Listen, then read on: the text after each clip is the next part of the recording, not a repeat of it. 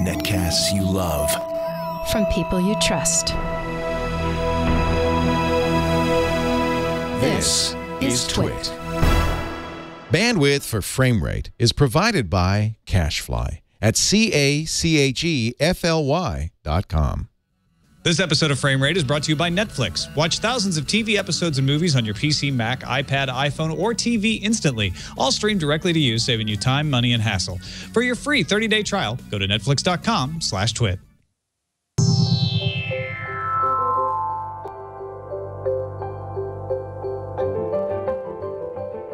Are you escorting the ship? And Anakin's like, uh, yeah, actually, I am. And the pilot keeps fanboying out. He's like, oh my gosh, I could not believe that in my wildest dreams I'd be flying alongside Anakin Skywalker.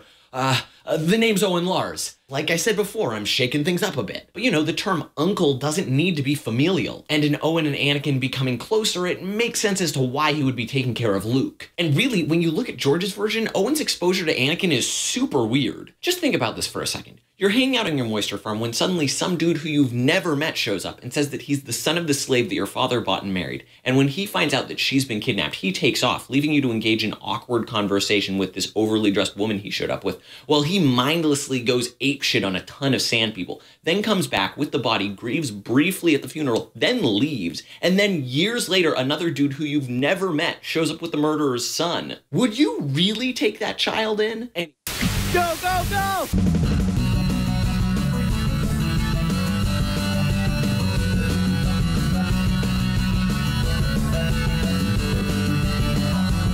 It's Frame Rate! Welcome to Frame Rate episode 138. I'm Tom Merritt.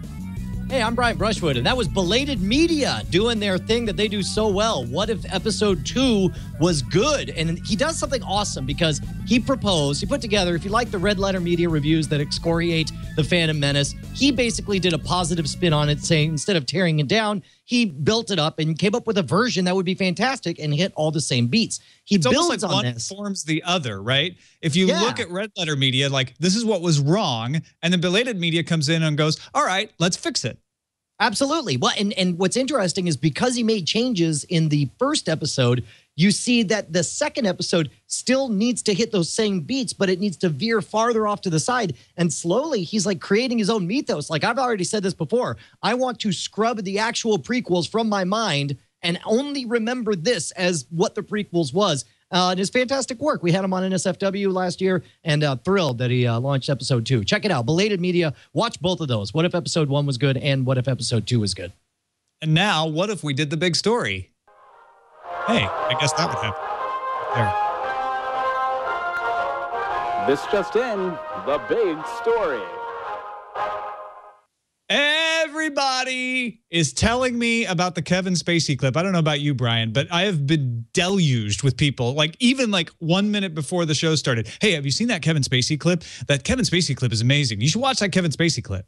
Yeah, it's almost as though like Kevin Spacey got on on in front of a huge audience, stood up to the podium and said, "I believe that you should be able to watch what you want when you want and on whatever damn device you choose, and I aim to give you the info to do it." And we're like, "Oh wait, that's frame rate." But that's pretty much what I believe. I'm Kevin Spacey.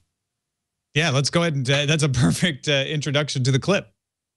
Check this out. The audience wants the control. They want the freedom. If they want to binge, as they've been doing on House of Cards and lots of other shows, then we should let them binge. I mean, I can't tell you how many people have stopped me on the street and said, Thanks, you sucked three days out of my life. and through this new form of distribution, we have demonstrated that we have learned the lesson that the music industry didn't learn. Give people what they want, when they want it, in the form they want it in, at a reasonable price, and they'll more likely pay for it rather than steal it. Well, Welcome to Frame Rate, the show that thinks you should be able to watch the stuff you love when you want, where you want, and on whatever damn device you choose, and aims to give you the info you need to do it. Welcome, Kevin Spacey. Uh, you know, Oh, we have God. Dana Brunetti, uh, who works Trigger Street Media with Kevin Spacey, so maybe some of that is seeped over. I don't know, but uh, everybody's going wild about this because he got up at the Edinburgh TV Festival and spoke to the industry and said, "Look, don't make the mistakes that the uh, the music industry is making. Give the people stuff the way they want. And he talks a lot about watching on an iPad is the same as watching in a movie theater. You're watching content, you're telling stories. Stories are what's important. It's not important to except to lawyers and deal makers about what screens these are on. Now, we also have a lot of other stuff going on this week. Uh, Variety, uh, Andrew Wallenstein, whom, whom we've had on the show before, had a great article talking about binge viewing uh, and and how there's binge viewing is like a bad term because there are binge viewers who watch like three or four episodes at a time, and then Wallenstein says I'm I'm more of a space it out because with Breaking Bad he couldn't handle more than one episode in a row, so he'd watch one episode a day, and he speculated eventually we may come up with lots of different release schedules that are variations on binge viewing. Yeah, I, I am betting we won't though because I think uh, what makes binge viewing binge viewing is parking yourself at the all you can eat buffet. Now that doesn't mean that you you are going to plow through and eat everything at the buffet, but you are in control. It is there for you. You could come eat whatever you want, however you want, and we consider that to be the you know the binging experience. And the same thing's true for our media. In this case, Andrew talks about how he intended to just plow through all of Breaking Bad in a day and get caught up and hey, that was easy. Now I'm ready to be caught up with everyone else for the last season. But was so struck by the, you know, by the content in the show that he realized it was, you know, to again go back to the eating metaphor, it was too heavy a meal and he wasn't going to plow through a whole bunch. He decided that this is a once a day thing. It was too heady, it was too much. And um, you know, when we went through uh, House of Cards, uh, you know, we didn't sit and watch it all in one day. I didn't sit and watch uh, Arrested Development all in one day. It's like you you find your own comfort based on your schedule, your ability to consume, and the nature of the the art that you're consuming. So, but yes, I think it's fine to label all of those derivations, all of those variations as the binge watching experience in general. I don't see the need to parse it, and and I don't know. I agree with everything Andrew said. I don't know that we need to change the perception of what it means to binge view, though. Well, I don't know if we need to change the perception, but I like what he's saying about there may be different release schedules that that people just aren't even thinking about it right now. Maybe a broadcaster, like a traditional broadcaster, decides, you know what? I think this is most suited to putting out the episode every day. That's how people are going to best want it. So let's dole it out slowly like that. Others are going to say, you know what? Let's let them decide. Let's just put it all out. And that's kind of what Kevin Spacey's saying, just put it all out there and let people figure it out. Although there, there are articles out today too saying Netflix is starting to realize, uh-oh, too many people binged House of Cards. Well, they did not too many people, but they binged faster than we thought. And so we can't amortize the cost of the show over as many months as we thought we would be able to. And, and that means the cost of the show can be parsed out and divided by the number of months people watch it if you have a, a longer viewing period. And so that starts yeah. to make make you wonder like, well, maybe it is best if you put it out four episodes a month or something like that.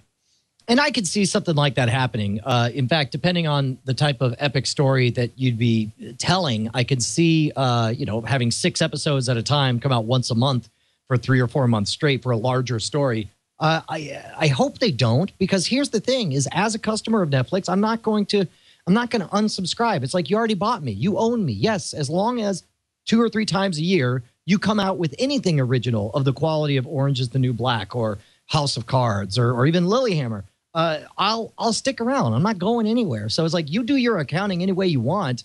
You got me, and and, well, and I don't see the point of freaking out outside the. The, the point isn't about your viewing habits. The point is if they can afford to keep putting new stuff in the pipeline as often as you need it.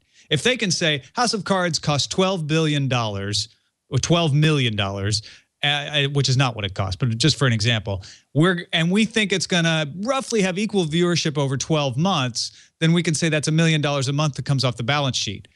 And and we can right. handle that because we've got an increasing number of subscribers. If it's 12 million dollars, 6 million comes in the first month, 3 million the second month, 3 million the next month, all of a sudden that first month now costs them a lot of money that they don't they no longer have on the balance sheet, which means that they can't afford to spend as much money for a couple of months yet. Now, speaking of House of Cards, I wonder if this changes the math at all. With House of Cards, you could I could see a scenario where they put this idea into practice starting next year. They uh, you know, they release season 2 of House of Cards, but they release it as two releases, you know, uh, one in January and the next in, you know, March or whatever. So they're 3 months apart and you get 6 episodes on one, 6 episodes on another. Uh, but I wonder if they could factor in, especially for House of Cards, which was a two season deal. I wonder if they could factor in the the the run up of people binging the first season in preparation for the release of the second season. Yeah, as I'm sure the- that's going to their have. An, amortization. yeah, that's that's definitely going to have an effect, and they should they should account for that. It's also a great story on uh, L.A. Times today by Dawn Chmielewski about Ted Sarandos, the guy who's responsible for putting together all these deals. And something I didn't realize till I read this story is that he was the guy who went and broke ground by getting all those documentaries. Remember, Netflix used to be known for like, oh, they've got these great documentaries. That was their first foray foray into acquiring original content, saying like, okay, documentarians, make this for us. It- And so a- when they when they first said we're going to acquire original series, they got, according to this article, piles of crap, things with coffee stains on them that had obviously been through every studio in town and been rejected. And as soon as they got House of Cards on board, suddenly they started getting calls from top tier people producing shows, and that and and Ted Sarandos gets a lot of the credit in this article for it. Yeah, it's easy to uh, to overstate terms like uh, visionary, but but uh, everything I read from this article, and you should read the full LA Times article. It's really exceptional.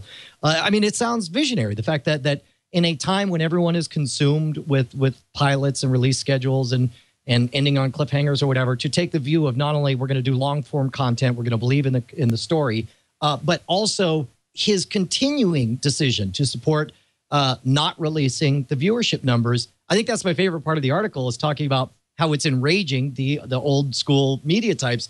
Uh, uh, Jenji Kohan says, uh, "Here's the quote: People go bananas," says uh, Kohan of Orange is the New Black. I had lunch with an unnamed executive who spent half the time ranting. If it was good news, they tell us. Like they just couldn't handle that they weren't releasing the the numbers, the viewership numbers, because that's just not what they're out to do. They're they're out to build buzz. They're out to get a reputation for high quality content, and they're out to drive subscribership numbers. And how many people watch them, it, don't matter. None of your bee, none of your bees.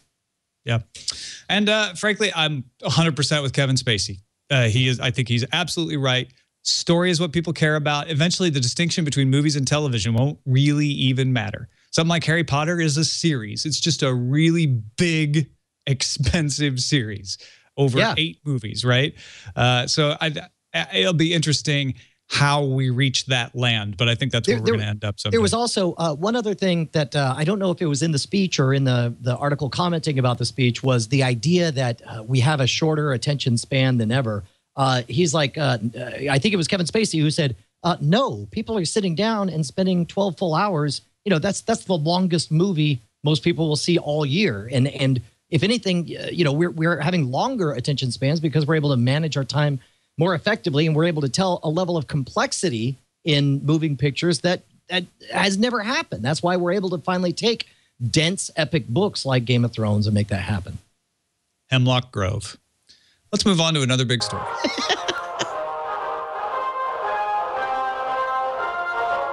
Stop everything. It's another big story. Google reportedly in meetings with the NFL. Now, don't get too crazy. Apparently, they do this every year because they've got all kinds of partnerships going on already with YouTube. But Larry Page and uh, the head of content for YouTube were together in Mountain View talking with the commissioner, Roger Goodell. And there's a lot of people saying it came up in the meeting that Google might be interested in buying NFL Sunday Ticket. Now, if you don't know what that is, it's U.S. football. It's a big deal right now. DirecTV has the contract, but their contract ends after the 2014 season. So in 2015, after the playoffs are over, after everything's done, NFL Sunday Ticket is available for somebody to buy.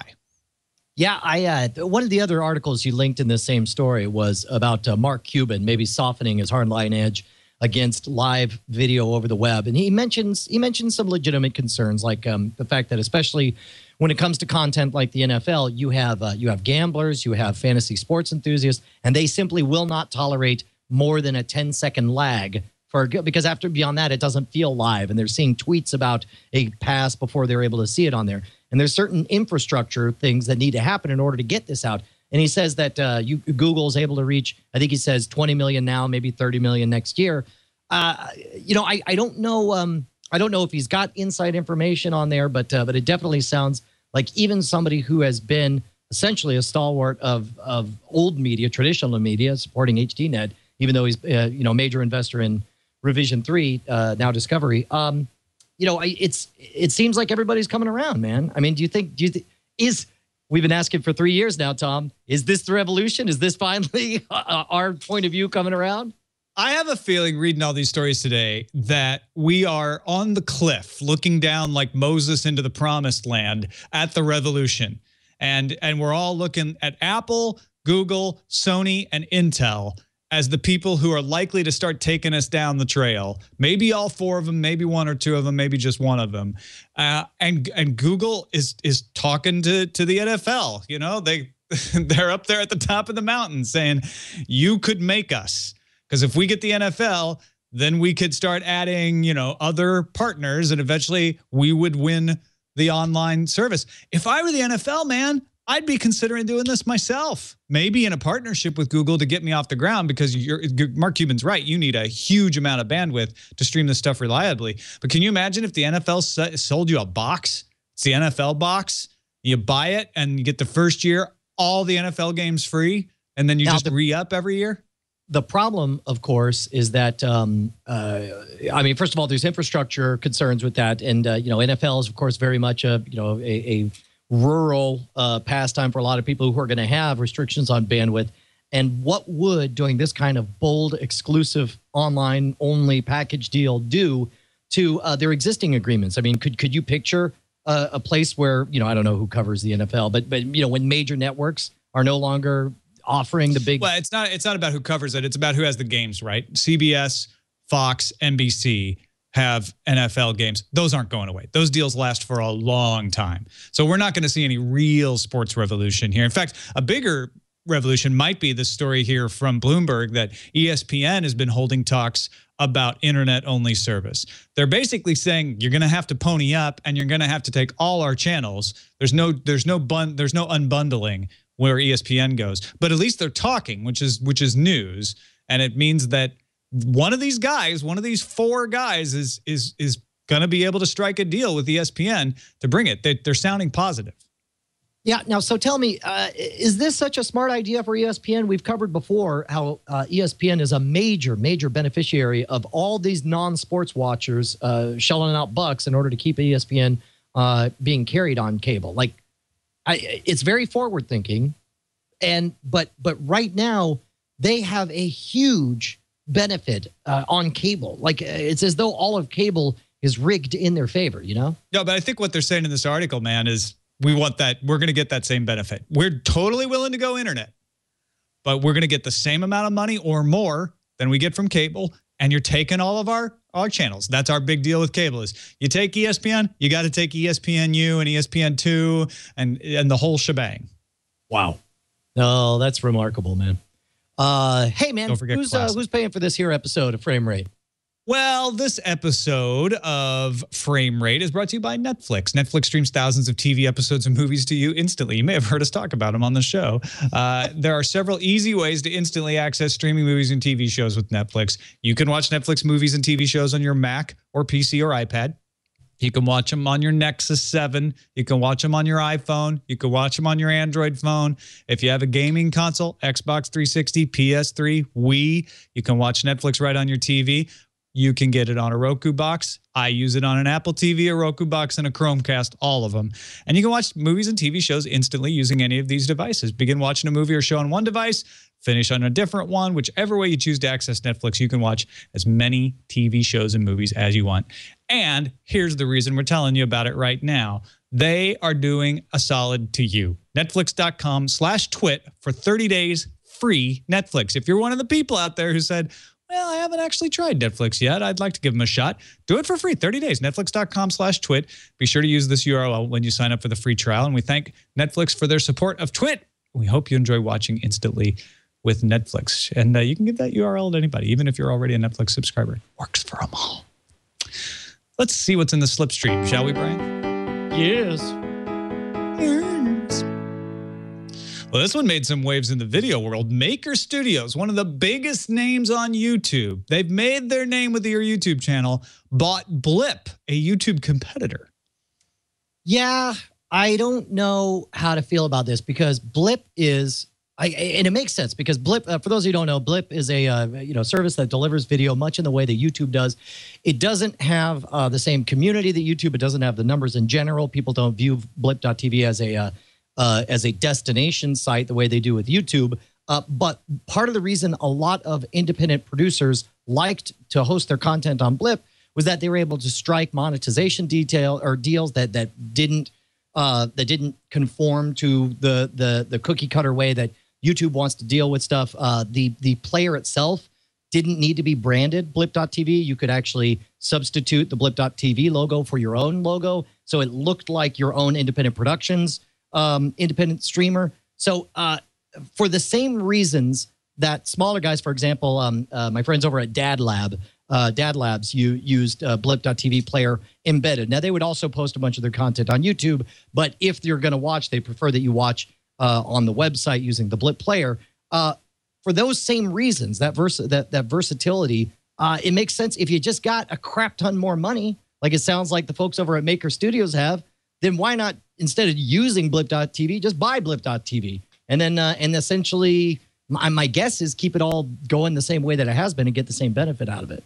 Yeah, I think you start to be able to promote it. You be able to, to control the message, do some things there that you can't do on YouTube, and monetize it. I think that's the biggest thing is they get a sales staff out of this, uh, and and right now they're working with YouTube on sales, and I'm sure they'll continue to do that. That's too much of a cash cow for them to drop, but now they'll be able to sell some things directly, do some in-show promotions, etc. And they've got this Blips staff that's uh, that's that's fairly experienced at this. It looks like everybody's going to stay. Even Blip CEO Kelly Day has been offered a job. It's just not CEO of Blip anymore. I guess that's going to be taken over by Maker. Interesting side note here: if you've been following it, Ray William Johnson left Maker. It was acrimonious. Everybody was saying the other person was at fault. He went to Blip. So now wow. he's going to end up. So now he's back uh, at Maker. back under Maker. So we'll see how long he stays there. That's funny. Uh, Intel is one, of, as I mentioned earlier, one of the companies trying to bring the internet revolution in TV. They want to make a box. They want to strike deals. They haven't struck any yet. Brian Krzanich had said, "Well, we're going to be real cautious with TV. That's something we're not very experienced about." However. They haven't stopped. They're still trying to strike the deals. They still plan to launch their box by the end of the year. We'll see if that happens. But they've opened up offices in LA and New York. Uh, yeah, I, I don't know. I've cooled off on my enthusiasm for Intel coming in and fixing everything. Yeah. I'm starting. Yeah, just the more we we parse this stuff out, the more these stories, the more we hear about the way, you know, the the nasty tangled inner workings of all this. I I don't know that just being an outsider is enough to to simplify everything. So good luck. I mean, I, I certainly hope the best for Intel. I want somebody to come in and fix it, but uh, we'll see. Well, the key is the deals. And if they've got offices in Nolita, the section of New York that's near a lot of the New York studios, and they've got offices in Santa Monica, actually, not LA, but close to a bunch of studio folks in Santa Monica. In fact, Santa Monica is where Amazon is. It's where Yahoo is over here. So it's it's definitely the right area for Intel to be in to strike these deals. We'll see if it helps. Yeah. Also, Netflix rolled out the My List function, which for those of us in the US is not as big of a deal. What it does is changes your instant queue to be auto arranged. You can still change it back and make it manually arranged, but it'll automatically put what they think are the most important things in your queue up front based on your viewing habits. And they'll also notify you when new episodes are added to TV shows and where movies might be expiring soon because their deals are over. I think this is a bigger deal than you give it credit for because I had completely stopped using the instant queue feature because well, I hated well, let the me, fact. Let, let me clarify. It's a bigger deal for people internationally because they didn't even have an instant queue. And so now they actually get one. But Got go it. ahead. Well, yeah, but specifically, like I had stopped using the instant queue feature because it was ranged in an order. Whatever last thing I happened to click was always at the front of the line. And then, uh, and once you'd watch something, you would have to manually remove it from your instant queue because you didn't want to keep seeing it again. But now, the fact that you just essentially are saying, "Dig this, uh, let's keep it on my radar," and the fact that it automatically, like the moment there's a new season of Sons of Anarchy or whatever, puts that at the front of the queue. This hybrid of of your input with their algorithms. I think will work really, really well. Cool. Yeah, I'm liking it so far myself. Let's look at tube tops. And I don't mean Yes, yes, you do. I, I, I mean, let's no. Let's just take a moment and look at these tube tops. that sit on top of your television, Delightful. except they don't sit on top of your television anymore. They sit below your aren't you? television in most cases. Yeah, But tube top we lost Brian. device. Sorry.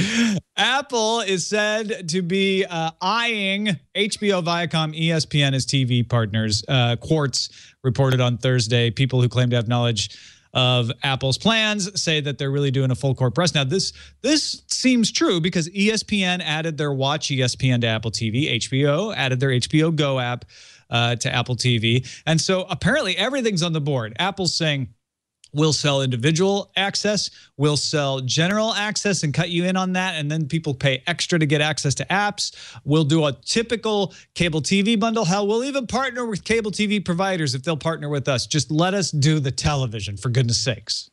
Yeah, uh, and I know none of this is Apple's fault, except insofar as their uh, their leakier rumor structure than it used to be under Steve Jobs. Uh, none of these are official releases. Apple, of course, keeping their mouth shut about everything.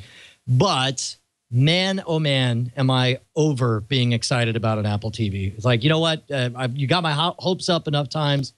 Just call call when you actually have something. And I know this isn't Apple doing it. I know it's the media. At least get better with your media leaks so I don't have to hear more of these rumors because it's like I'm So- getting jaded and you don't want me angry before your device even comes out. Tired of Intel, tired of Apple. What about Google? All right, Google's- I'm down. Google's I'm down Chromecast. Uh, Google's Chromecast. This is bad news. Google's Chromecast now blocks you from using the Aircast, or the, as they've renamed it, the Allcast app, which let you take videos off your phone and send them to Chromecast. The latest update to Chromecast broke that. Uh, well, the latest latest update, I believe this was added since this is the benefit. Let me tell you, Tom. If you're a real pro like me, you wait until 20 minutes before the show to read all the articles. That way, you're able to catch little tidbits like this. At the bottom of that article, uh, the the the allegation was that the guy who did Allcast said, "I don't know, but the latest update definitely broke my app." Uh, thinking that's intentional because Google is being coy. Never said about, it was intentional. about stuff. I right, said right. it No, no, no, no. But you. but- right, but that but that was the allegation. Uh, however, Google finally uh, just offered the following uh, uh, release. He says uh, we're excited to bring more content to Chromecast and would like to support all types of apps, including those for local content. So uh, it seems like maybe it just was an accident that broke it, and uh, and I- I- I now for the it first time.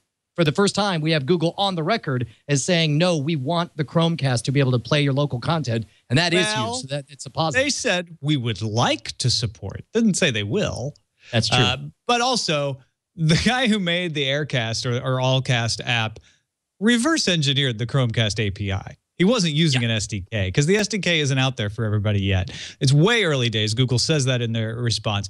Everyone freaked out and said, "Oh, they're they're blackballing." No, they're not. Some guy reverse engineered something and then they updated the software. And guess what happens when you update software and don't test something because you don't actually know that it exists? have an it SDK, breaks. sure. That happens. That's Yeah. what's that's what programming is all about. That's why you do quality assurance testing. They're not going to do quality assurance testing for some guy's independent app that was reverse engineered. I, but I also don't think Google intentionally tried to break it either. So I would hope that they would actually see this as, as something they would want to support in the future. It's still it's still a question whether they're going to open up that SDK as widely as people would like. Well, and keep in mind also there is a legitimate reason for them to not want to do it. I mean, when you when it comes to playing local media, you run into entanglements, and if they're trying to score, you know, media partnerships, and uh, there are people who'd be like, "Well, we'd prefer this wasn't a play any old video file from anywhere talking about you, you know, uh, Mr. Pirate Bay." Then, um, you know, I could see there being a reason for that. So it, it is a concern, but uh, but it looks like they're coming down on the side of of uh, freedom of choice. They still leave themselves room in that statement to not support this kind of app in the future too. I think. Oh that's yes, worth I, I totally agree with that. But but it's still Now- even if they're making noise for the wrong reasons, they're still making noises I like. TV, TiVo, I mean, has got some new boxes out. The Roamio, the $200 Roamio, I don't think should be called Romeo. It's spelled R O A M I O. The Roamio Plus at $400 and the Roamio Pro at $600 have different storage uh, features and different number of tuners. Uh, but the Rome means that you're actually able to cast any video from your TiVo to an app, whether you're on your home network or not. Before the uh, the TiVo streamer had to be available, and then you could only use it in your own house. The problem is, if you go buy one of these TiVos, which you can buy right now, it won't be able to do the roaming thing yet. They say that that's that's a, an app that's coming soon. It'll come to iOS first and then Android later. Uh, dude, that's great. And I'll tell you what, we're finally far enough into my cord cutting experience that I'm starting to look towards my net, you know, my first, you know, OTA Ah. set top box. And so certainly I'm taking auditions now, TiVo. It'd be wonderful to have you back in my life. Four hundred dollars for a set top box. Doesn't- won't even blink. I mean, that's No. uh, I mean, Not and that's problem. not a statement of of like like I just got money to burn. But No, me, no. I'll tell you this much: when you're when you're off cable, when you give up that eighty bucks a month to get the same packages that everyone's force fed, was that? It's four months, five months, you got that covered. Like you get a big budget to work with when you cut cable out of your life. What about film film? That's the stuff that we like to watch. Let's see if this makes you blink, Brian Brushwood. Ben Affleck will play Batman. I was on the road when this story broke, uh, so I never read anything. I read first the ONG tweets, uh, Ben Affleck, then the backlash, like, "Oh, great, it's gonna suck," blah blah blah. Um, let me let me look. I've already seen the script. The script goes, everybody's skeptical, and then he does a fine job because let me tell you, Ben Affleck knows how to tell a story. He knows how to act. Uh, when the project's right, they're going to put enough money in this. They're not going to let it be Daredevil. The situations that create a Daredevil are not the situations that are going into this next story. Ben Affleck is a fine actor. It's it's going to be great, and you're all going to be amazed. And then you're going to find this video and be all like, "Brian saw the script of life," and then you're going to ask me when you die, and I'll tell you. But then you're going to weep uncontrollably. For Then you're going to wish you hadn't asked. Yeah, exactly. I uh, I think you're. I, I don't have anything to add to that other than come on, people. You're like, oh, it was great Argo in the town, and then he gets cast as Batman, and everyone suddenly all they can think of is Jeesley or whatever. however you say that. Gigli, yeah, Yeah. yeah. Neil Gaiman has provided an update on American Gods. If you uh, don't realize, HBO has the rights to create a television series. Gaiman has been working on a third draft of the pilot script and recently handed it in. Uh, he has radically expanded on the original novel with new scenes showing the bank robbery that went wrong and landed Shadow in prison, et cetera, et cetera. We still don't know when we might get a firm commitment from HBO that this will start shooting and air. They, they've got a packed schedule. Yeah, it's tough because on the one hand, you're all like, "Look, HBO, you already saw when you take awesome, beloved, uh, you know, book franchises of fantasy material and turn them into awesome shows, you make all the money on the planet. So why not just do that again?" But there's a lot of considerations here. You know, for all we know, for all we know, they've done this deal with American Gods, but meanwhile, behind the scenes, maybe they're they're looking at optioning the Dark Tower series. I mean, you know, it's it's there are reasons why they don't have to just jump in and start producing right away, no matter how good the the book American Gods are or how perfect that world is to expand. Um, the, the, the, we don't know what where HBO's heads at or what they're thinking of doing, and so we shouldn't pretend like the the decision for them is obvious. Now, Sony also has uh, got a development deal to do a Watch Dogs movie. Uh, Ubisoft has, has signed over some rights. That doesn't mean it's going to get shot either. It's it's you know it's in, in one of those limbos where it could sit on the shelf forever. But it does seem like a lot of game companies are striking deals with movies, and I, I I think movie studios may be looking at video games now no longer as the like, eh, we could put it out cheaply and maybe get some kids to come into the theater like Mario, Pac-Man, etc. I think they're looking at it as these are great stories. We need to figure out how to make good video game movies because people are going to get tired of comic book movies sooner or later, and we have to I'll have some you- other kind of blockbuster. I'll, I'll, tell you kind of one of the make or break things is uh, a friend of the show, Cargill. Um, uh, wait, I don't know what. Yeah, no, I think this is all public. I think I could say this. If if not, then I apologize, Cargill. But uh, but uh, Cargill's attached to the the Deus Ex script, and um, uh, Deus Ex, uh, if if it does well and proves that you could have a really good story that comes from a video game world, uh, which we've almost seen right now. Believe it or not, uh, do you know what the number one movie to or, or video game to movie translation of all time is right now? I don't know. Was it Final Fantasy? You've asked me this before. And I should know. Yeah. Uh, I, oh shoot, now I can't remember. It's either Final Fantasy or Tomb Raider. Tomb Raider and Final Fantasy are the only ones. Uh, but like third place uh, in that is uh, is uh, uh, Prince of Persia: Sands of Time, which didn't do very well, but in terms of video game movies, did extraordinarily well. So we we have seen these these things almost be box office successes. Uh, I don't think we've seen any that have been a critical success. I think uh, I think Final Fantasy, and, and I may be also confusing the box office numbers for the Rotten Tomatoes reviews on there, but like uh, in general, if you look at video game movies on Rotten Tomatoes, it's astonishing how bad all of the movies are, just universally. Even if they do well financially, they're all just bad movies. Uh, if that changes, you know, and it could be like uh, it'd be neat if Deus Ex was one of the ones that changed it. It was part of that uh, that changing landscape. Then I think you I think we will see a gold rush. I think for right now we're seeing a lot of hedging of bets because as best I could tell, nobody's cracked that transformative code. Nobody's been able to take something that's a really good deep story in a video game and make it a really good deep story in a movie just yet. They're arming up. They're they're striking the deals because eh, the feeling is it's about to break out. People are about to figure this out. Somebody's going to make a hit out of a video game movie, and then the ru- gold rush is on. I think you're absolutely right. Yeah. Let's move on to scan lines. We don't have an intro for scan lines. Oh. But if you would like to make us one, you would like to make us one, please. please. Scan lines. Yeah, it could I'll be. just do this, a, a I'll just do this real thing. fast. We'll get some artifacting on there. You can get Miley those scan Cyrus to lines? dance. Oh, yeah, I see in front of those. us. There you go. That's cool. Done. Uh, scan lines, of course, means we have 60 seconds per story to discuss it. And of course, each of us can extend a story by 60 seconds if we want. Uh, you start, or, or am I starting, Brian? Okay. Uh, uh, you know what? You take that first one. All right. Yahoo's Marissa Mayer turning into a media mogul with Katie Couric, says All Things D. Uh, essentially, the idea is that through their partnership with ABC, whom Katie Couric is working for, Yahoo is going to create original series with Katie Couric. And they're saying this is a turn at Yahoo to focus on media. Marissa Mayer has been focusing almost entirely on product at Yahoo, but she doesn't want to abandon media and she wants to do it through partnerships, not Yahoo creating original content themselves. I think this is probably really smart, and it's certainly in brand. You know, if uh, uh, to to the digerati, the type of people who are even aware of frame rate and watching it, it's obvious that you know we tend to be Google type of people. We like the Google mindset. We like the Google search engine. Yahoo's very much a a middle America search engine, and so as a result, you want to go with traditional, you know, middle America stars. And uh, a big name like Katie Couric, I think, is a good uh, way to do it. As is a partnership like this kind of thing, instead of creating original content. Yeah, not targeted at the frame rate audi- audience, targeted at the mainstream audience. Also, Correct. Couric should play Mayer in the made for TV movie.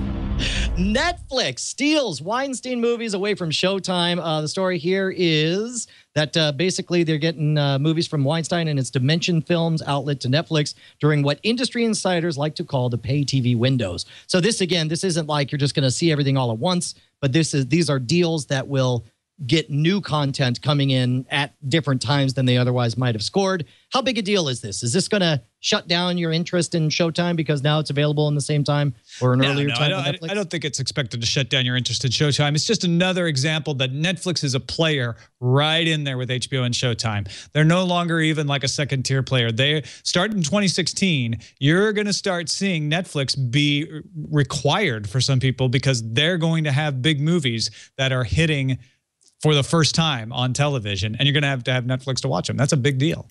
Yeah, when you say how long until we start seeing Netflix bundled, I, I ah, it's too too big a thing. I don't want to go to the extension. Well, next story, forget about it. All right. Time Warner Cable and CBS are still fighting, and it doesn't look like it's going to get any better soon because Time Warner started what is a typical maneuver, usually earlier in a fight, by handing out free antennas to its customers so that they can get CBS. If you don't know the story, CBS and Time Warner are fighting over the carriage fee that allows Time Warner to provide CBS's over the air broadcast through the cable lines. So I have a question for you, Tom. Sure. Given Brian. now, now this is a move that they've done several times algebra. before. It's a way. It's a way for them to say, "Look, we want you to have CBS. CBS is being big babies, asking us to pay too much. Here, have a free antenna. You can watch it over the air." Does this story change at all in a post-Aereo world where we have seen uh, CBS howl so loud about uh, about people circumventing uh, uh, the, the the the retransmission fees? Is there a different message behind this? I don't think so. I think I think it's the same old same old because people just don't want to use antennas. It's it's a desperate maneuver on Time Warner's part. There we go.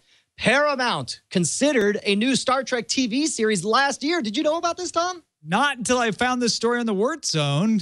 Nice Yes. stuff. Uh, so okay, so I guess the talk is, and and I can't tell if they meant specifically it was to be a Michael Dorn series or It was if they be just speculated. Produced, or it was going to be Michael Dorn Run and Star Worf. yeah. Well, it. Like okay, Worf as an the thing. older man or something. Or Well, and- and- And what if stylistically? Now, here's the thing: is of course the question is, uh, will the Star Trek TV show take place in the original timeline or the rebooted timeline that we see with the movies? Um, I could see something that took place in the original timeline, starring Worf as maybe a vigilante badass who's retired from Fed Federation or whatever, or maybe he's an ambassador in a filthy land. He has to kick a lot of ass. Uh, I could see that being shot in the style of the rebooted world, but keeping to the original timeline. And I think that could have been good. Yeah, and I I think they decided, you know, we don't want to take away from Abrams right now. So hopefully they cut they recircle back and do this again. Yeah. Sylvester Stallone and director John Herzfeld are reaching out on Kickstarter to get the last $250,000 they need for their movie Reach Me. Uh, this is a star studded picture. It's got all kinds of folks you recognize in there Kelsey Grammer, Nelly, bunch of the guy who played E on Entourage. And they basically decided, you know what? We don't have enough money because one of our investors backed out to finish post production. We want to put this out in November. We have distribution. We just need a little money. And they decided to go to Kickstarter for it. You know what? And uh, let's face it, for this kind of movie, this level of, of production, you know, that's it's a bit of pocket change. And, and granted, it's enough pocket change that would be a pain in the ass for them to find another investor to make happen. But uh, but I, I I don't I'm not against fans funding this stuff as long as the benefits are tangible and the reason for it makes sense. Um, you know, I don't know how to feel about this one. By the way, I owe you a steak, Tom Merritt, because Spike Lee got funded. Yeah. Also, Harry Knowles has got a Kickstarter. If you read the comments about it, whew, Uh, yeah, man, that's that's a hell of a thing. Uh, a lot of backlash against uh, Harry Knowles trying to extend his uh, Nerdist show beyond the original one. it's your it's your story now. What? Oh, I thought that was the last one. Dang it. No, we have six. Ah, dude, and then this is the one I didn't read. Uh, XBMC Media Center hits the Ouya store. Uh, I'm gonna guess from the headline I- on this one that Yeah, the I- I XBMC. Media Center hit the Ouya store. It did, and I downloaded it and I tried it, and it's buggy. It's a definitely. XBMC. It just doesn't fit very well with the controller. And I don't know how much of that is a problem with the Ouya interface or how much is a problem with the port. It's not run by the actual XBMC guys. Uh, it's a, it's a third party, Chris Browett, uh, doing the port. And he didn't do a bad job or anything. It's just a little bit clumsy. First attempt. A lot of people say if you sideload XBMC onto the Ouya yourself, it works better. So if you're thinking, oh, I have an Ouya or I can get a cheap Ouya and turn it into a, a- a cheap media center, you probably can, but it's going to take a lot more tweaking than it sounded like when I first read this story, which is, hey, I can just download it from the Ouya store. Done. I don't mind the tweaking. It's the twerking that disturbs. Yeah, don't don't twerk your Ouya because it'll get stuck. give it to Miley Cyrus. All right. That's a good- Uh, movie draft. Let's talk about the movie draft. Brian wins.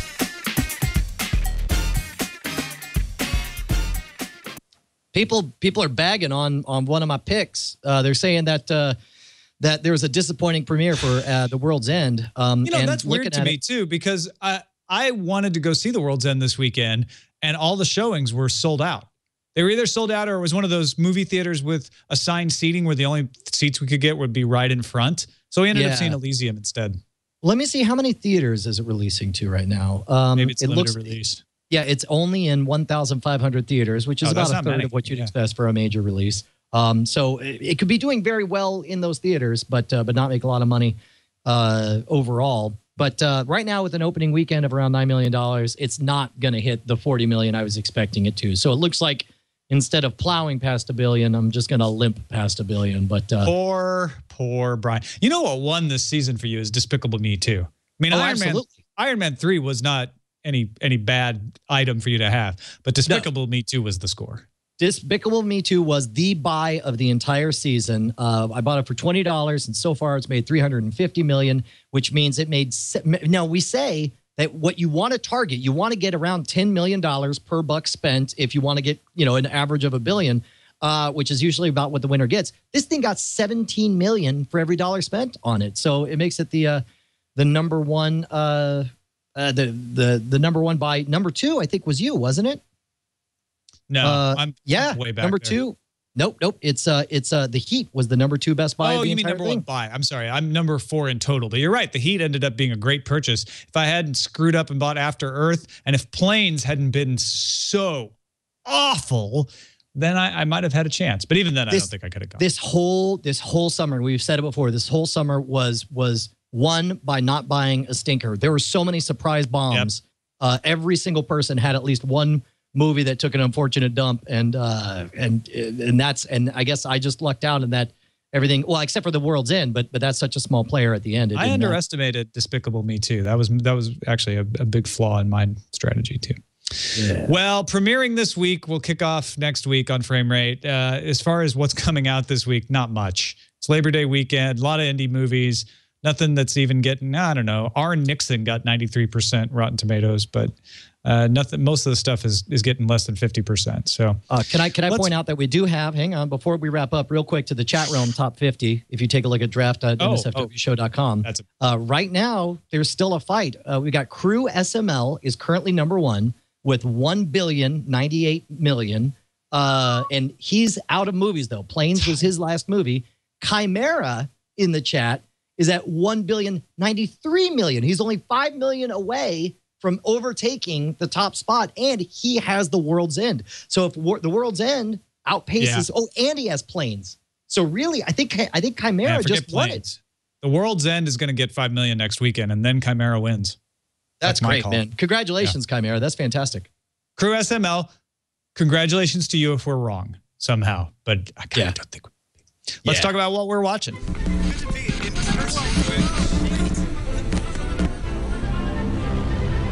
What we're watching.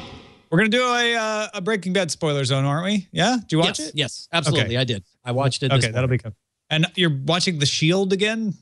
Uh, well, I mentioned that. Like, uh, it's it's it's a good. I, I started it oh, just right. to You did see. say you're rewatching to see if Yeah, it held I- up. I forgot. I- exactly but but it's filling this niche where it's like it's after midnight and it's something that i already know the story so i'm not going to get so swept into that i'll feel bad shutting it off halfway through you know if, if like you know around Right. 1245 i get tired or whatever. So uh but it's it's great. And i'll tell you we we were bagging on the uh the amazon interface. I love going to amazon going to the store shelf seeing it seeing the price tag with a line through it and just says free. I just i don't know. There's something about that feels different from the netflix experience and i enjoy that on my computer That's cool. I uh, I'm falling behind on Under the Dome, and it's not intentional. It's not like I've given up. I just it's gone to the bottom of my priority list. So I'd be interested if if I get back to it. Uh, I'm still watching Continuum, Top Chef Masters. I'm a big Top Chef fan. Futurama, obviously Breaking Bad. But I, I watched fewer episodes of television this week because I got into the Hearthstone beta from Blizzard. That's their oh their, their trading card on online trading card game. And uh wow I, I totally got sucked into that. And i played that a lot plus plants vs zombies 2 on the ipad. It's funny i've noticed this with you too. When when when you've gotten sucked into a new video game it tends to take away from your tv watching time. I wonder if that's a little bit of a zero sum game I think it may be. I think there's a budget for it's like you got you got family time, you got you got work time like this, and then you got that the the selfish play time, the stuff where it's like you know certain appointment TV watching you got to watch with your significant other or your kids or whatever. Uh, but uh, when an, a game comes out, especially if it's one that's appropriate for my kids to watch, because uh, this whole week when I have had time, it's been a very busy week, but I had a day off, and all I did was play uh, King's Bounty: uh, Warriors of the North with my with my kid the whole time and that's all time i normally would have probably gotten caught up on other media but it's uh yeah man video games are awesome let's get some feedback in this now house time for feedback with Brian and Tom on Frame Rate. Oh yeah. Our first piece of feedback comes from Scott in Detroit, Michigan. Says, I am a football fanatic.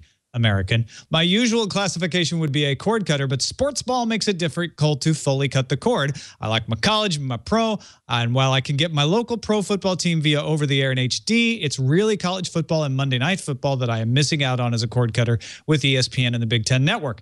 Thankfully, my internet provider allows me to upgrade and downgrade with no contract commitments or install costs. Wow. NCAA football season starts August 29th, and on that day, I have my provider scheduled to come over and install a cable box and activate an HD package with the channels I need for my football fix. When bowl season is over in January, I'll cancel cable TV and go back to my internet only entertainment. This ends up being $40 a month for 15 megabit internet for the better part of eight months and TV plus internet at $70 a month for a little more than four months. I guess I would be classified as a seasonal cord cutter or maybe a migratory cord cutter, like a bird who heads south in the winter. I get cable as the season approaches. I love that. You know, and and it's like my expectation is to keep the cable cut, keep the cord cut, but uh, you know, it's going to get harder as Game of Thrones comes back. I'm going to start wondering, like, well, maybe I'll just sign up for a couple months and then cancel. Maybe so we'll I'll see. just do a little of that dish flim flam to get the HBO Go. Uh, oh yeah, that's right. Touche, sir. I forgot about the dish flim flam. Now we're talking. Don't Uh, forget about this the dish one here flim flam. says, "Hi Brian, I'd be interested to know your thoughts on this. Netflix had parental controls so that you could log into your account and restrict access to videos based on four age-related settings. Since profiles were added, you can set which profile has age restrictions. But when my nine-year-old runs Netflix on the PS3, he can just choose his older brother's profile or mine and start watching what he likes." I think the solution is to add optional quick access pin for certain profiles. James in the UK, uh, that's not a bad idea, or have some kind of code that you got to figure out. But let me let me let me for comparison understand how awesome we are to to be in this position now, where where you have this level of control. Because I was thinking about this the other day. Like you know, I've got a nine year old now, and I'm trying to manage what kind of content that she watches because I don't want to break her brain. I think back to the crap I would find myself watching uh, on HBO or or even like you know Playboy Channel or whatever when there's no restrictions and you could use the tuner to see naked ladies or whatever. Uh, it uh, it is remarkable to me that we have this level of control for what our kids sees. Um, like I was thinking about it. Do you realize, Tom, that I was I was flipping around channels when I was in second grade and ran across um, probably the most horrific scene in all of A Clockwork Orange. Uh, it it was uh, I I don't know what what that did to me, if anything at all. You know, you never know. But it's like I'm thrilled that that this is the level of discussion that we're having now. Yeah, I'm I'm looking through too to see, and anybody in the chat room who knows about this, let us know if there's any other way to set parental controls. It says to set parental controls for other profiles, you must switch to that profile. There's no way to put.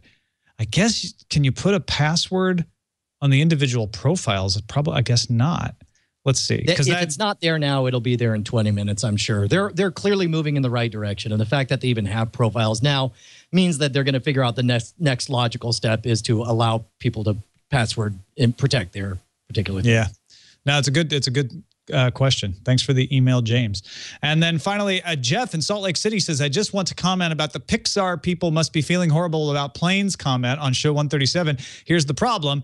Everything that comes out of Disney that is animated, including Pixar, Disney Animation, and Disney Toon Studios, is run by Mr. Pixar, John Lasseter.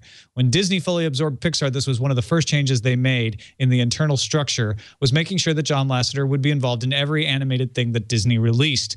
Planes was a made-for-TV feature, and I've heard this from several people, and its generic story reflects that. Hopefully, Disney will learn from this experience and focus on releasing quality features to theaters and keep lesser quality projects on the Disney Channel. Agreed. That came from uh, Jalen Jade. Congratulations on your third place victory in the chat realm draft. I noticed. Nice. Good job, Jeff. And that brings us to the end of frame rate. Brian Brushwood, a pleasure to be like back in the groove now. Yeah, man. Uh, if only we could shake things up even crazier and like have you out in this studio sometime. We'll just have to add that one to the list of things to try. Yeah, I'll wish very hard. And then maybe that always works. maybe my wishes will come true. Right, Uh, in the meantime, don't forget about the uh, Chicken Challenge Google Plus profile. I don't have the link of the show notes today, but we created just just search Chicken Challenge on Google Plus. You'll see a picture of Brian kind of challenging you as yeah, like kind of like that. And uh, you can you can share your tips. It, what's really cool is what's happening is as people share their stories about calling and, and canceling cable and what kind of deals they get, other people are starting to say, "Yeah, I read this guy's thing about the chicken challenge, and so that inspired me to say this, and I was able to get this." And so it's all like turning into this helping each other community, which is awesome. It's self it's self-replicating now, right? It's about to become I know. sentient and take over the world. It's bigger than us already. exactly. It's totally out of our control. We can't stop it. It's too big. It's bigger than both of us, Brian. Too big to fail. Uh, so check that out. Also, check out our website, twit.tv slash FR for all the episodes all the time. You can email us, framerate at twit.tv, and uh, you can find Stick us around. live on Mondays. Stick around for the spoiler zone. Find us live on that's what I was- Mondays at 3.30 Pacific, 4.30 Mountain Time. Spoiler alert. We're gonna have a spoiler zone. Whoa, you totally spoiled that, man.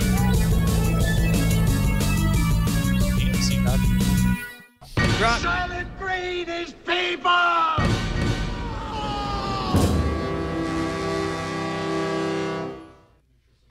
So this is me at 45 minutes into Breaking Bad this week, Brian. I, you know, those first two episodes are pretty crazy. This one seems a little slower. I wonder if that's just in comparison. and this is Eileen. Both those episodes, all the stuff happened at the end. Hang in there. So uh, I actually was not bored going into it. Now, first of all, um, yeah, no, don't, don't get me wrong. I wasn't bored, but I felt like, eh, okay, not as much seems to be happening this time. Yeah. So uh, let's see what all what all happened. Uh, uh, the I guess let's work backwards from the ending. Right. The the ending. Uh, the big the big moment was clearly lines have been drawn. Jesse Pinkman is out to destroy Walter. He had a realization that Walter is manipulative and controlling him. And even even in that scene where Jesse's trying to get Walter, like, just look me in the eye, just freaking level with me, just tell me you killed Mike and that you that you're going to kill me if I don't get the hell out of town. Be honest. And and because Walter is so good at playing people, he he refuses. He measures he measures Jesse's resolve, realizes that he could just give him a hug and get him to crumble, and he does. And he just is defeated and decides to skip town, start a new life. Um, I wasn't crazy about the reveal of I, I, like just the fact that uh, I, I understand that they did a moment where they lifted the pot off of him, and that you know he realizes, oh, people can lift things off of me. Oh, what if what if he stole the ricin cigarette? What if it was like I wish there was a more concrete his level of of how sure he was about being manipulated. I thought was disproportionate to the evidence that he had just gotten. Does that make sense? Yeah, I was a little confused actually when he when he pulls out the cigarette pack and realizes, oh crap.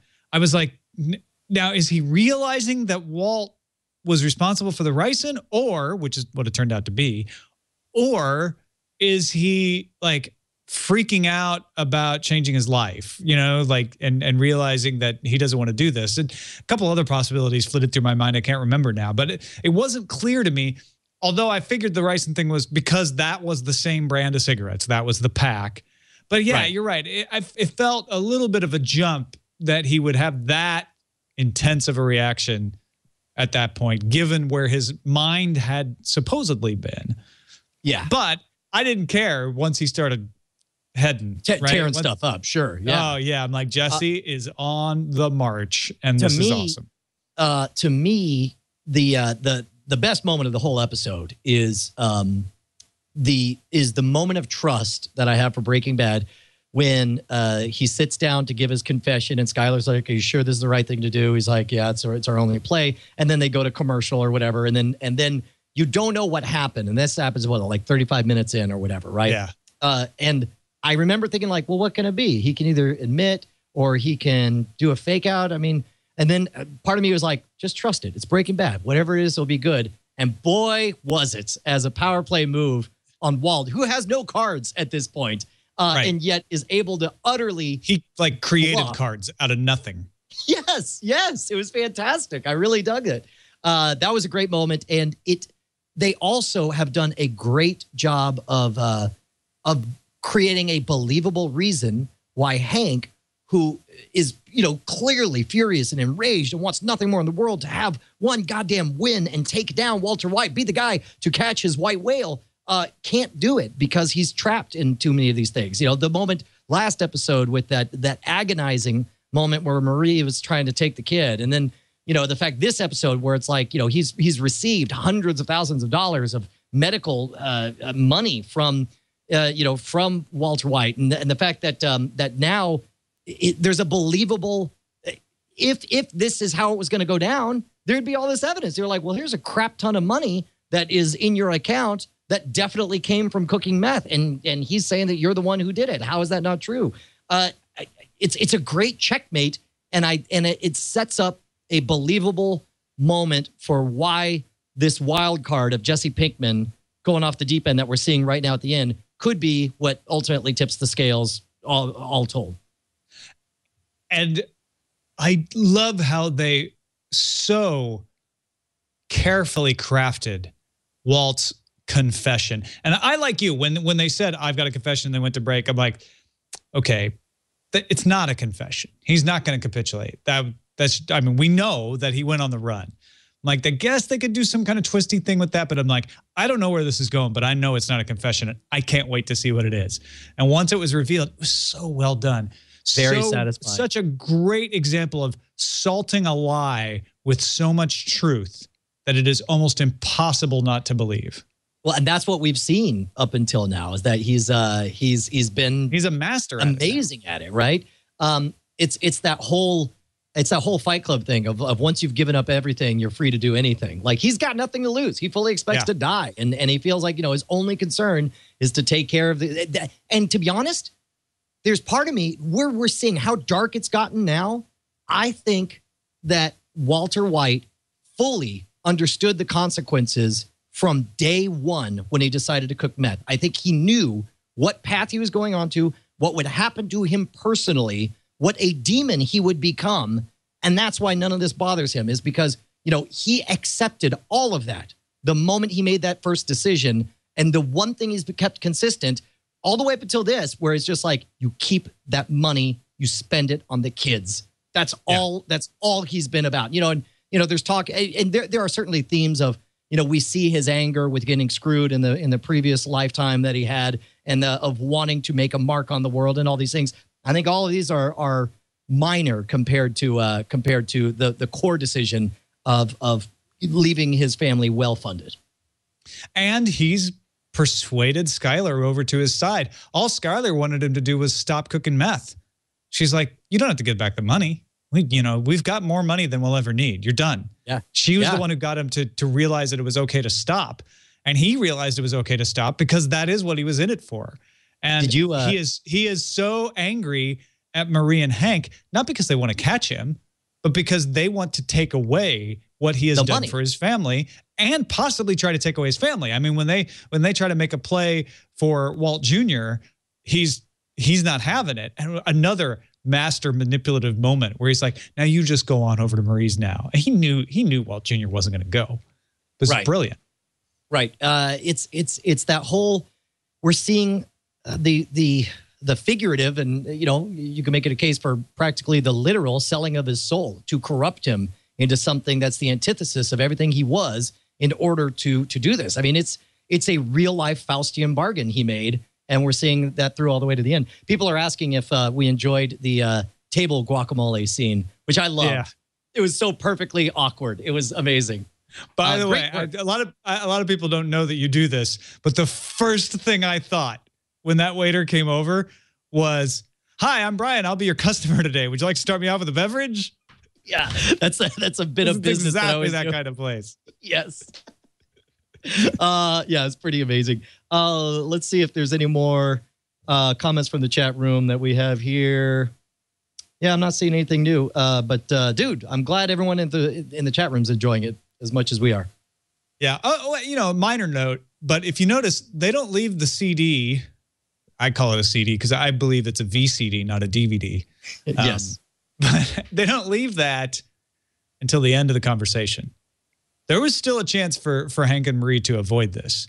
That was that was their dead man switch. That was the we're gonna go, we're gonna talk, and if we can't see reason, we are agreed that this is, and that's the weird part is seeing uh seeing Skyler be the good wife in all this. Like she has gotten hard and and um, it's amazing. Go back and watch that first episode and look at the loveless, uh, sad marriage that they were in, and now look at the loveless, badass marriage they're in now. I mean, yeah, it's she's not a good wife. She's not being a good wife. She's being a solid partner. Well, she's being a good crime. mom, and in that way, she's being Yeah, a she's being a bear, good doing mom, what it takes. Yeah, But this doesn't have to do. I don't think this has to do with love of Walt so much No, as I all. need to make this come off. She's doing it for the same reason, for the family. right, absolutely. Yeah. Uh, all right, man. Well, I guess that's it for this uh, spoiler zone. Make sure to send us emails. Let us know if you if you dig Yeah. the spoiler zone and uh, what else we should spoil. Maybe we'll Yeah. maybe maybe when there's not really good TV, maybe we could just pick up a project like The Wire, like we did, and do another Sure. challenge. and Yeah, run and through then that. some people are like, why didn't you do this show? Why didn't you do that show? Well, Brian and I both have to watch it. For us to be able to do the spoiler zone, or it doesn't work. And we uh, we mentioned I don't know if we mentioned it during the show, but last time we mentioned like maybe breaking out the spoiler zone separately as its own feed. We'd probably still leave it at the end of frame rate for those who like it that way. Uh, and I ran that by Lisa Kentzell, the CEO of Twit. She said she'd get back to me. She's going to look Right into on. it. So Well, see. cool. Yeah. Thanks everybody. Bye. We got to have a better wrap up for the spoiler zone. But uh, but don't just take our word for it. Watch it for yourself. Here's one to grow on. Do do do do. I'll see The you guys more on Thursday. you watch. Hey, that's Patrick Delahanty. I will see you. there. Patrick Delahanty. Oh, we should we should give a uh, programming note that uh, tonight. Uh, I guess what we're about ten minutes away from starting this week in YouTube. Won't be just any night. Uh, but tonight we're doing NSFW one night early because I have a show in Colorado Springs tomorrow. So it'll be uh, Justin and I. So stick around for this week in YouTube. I'll probably go live on the pre-show for NSFW in uh, less than an hour. Well, I'll do it shortly before 8 p.m. And uh, it's going to be just me and Justin. Uh, got a bunch of stuff that we want to run through. Maybe, maybe Patrick, do you want to join us since you'll be there uh, for Dragon Con? You'll be around, right? Yeah, I'll be here. Right on, sir. It's going to be great. And we talked about uh, options for covering um, the NSFW live during that time as well. So I will see you guys Options. later on. Adios. Bye bye. Bye, everybody. Love you.